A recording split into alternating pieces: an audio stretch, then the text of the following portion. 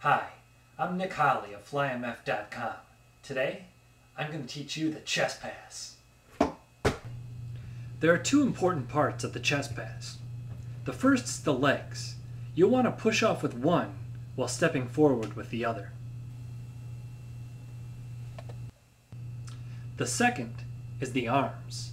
You will hold the ball at your chest, elbows out, then push the ball away from you, following through with your thumbs down. Combining these two elements will help you give a good, crisp, and controlled pass to your teammate. Now I will demonstrate the chest pass with my partner, me.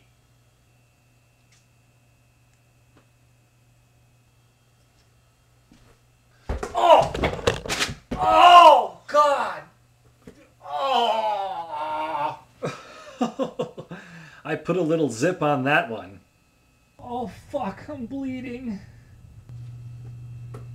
And remember, kids, don't play basketball in the house.